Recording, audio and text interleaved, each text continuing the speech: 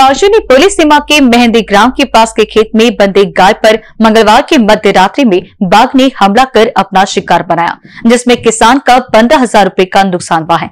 जहाँ बाघ का हमला होते देख वहाँ मौजूद किसान ने बाघ पर लाठी से बाँध को भगाने की कोशिश की। पिछले डेढ़ दो महीने से बाघ ने जंगल छोड़ रियाशी इलाके में अपना ठिकाना बनाया है। जिसकी वजह से राहगीरों को बाघ के दर्शन होने से लोगों में लगातार भय पनपता जा रहा है, जहाँ खेत खलियान में काम करने वाले मजदूर काम पर जाने से कतरा रहे हैं। वहीं पशुओं का शिकार होने से किसानों का आर्थिक नुकसान हो रहा है।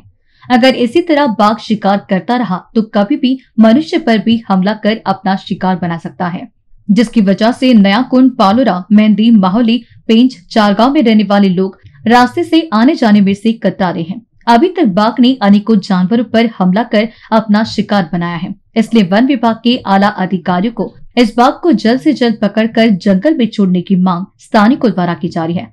वन विभाग के अधिकारी अनिल भगत और उनकी टीम इस बाघ को पकड़ने के लिए बड़े पैमाने पर कार्य करी है, जहाँ बाघ को पकड़ने के लिए वरिष्ठ कार्यालय द्वारा परमिशन मिलने से बाघ को पकड़ने के लिए वन विभाग के अधिकारी रात दिन बाघ की खोज में लगे हैं। जिसके लिए ड्रोन कैमरा की भी सहायता से बाघ को खोजा जा रहा है। वही बाघ को पकड़ने के लिए पिंजरा लगाया जा रहा है, जिससे रिहायशी इलाकों में बाघ को पकड़कर जंगल में छोड़ने के लिए वन विभाग के कर्मचारी अधिकारियों द्वारा प्रयास किए जा रहे हैं।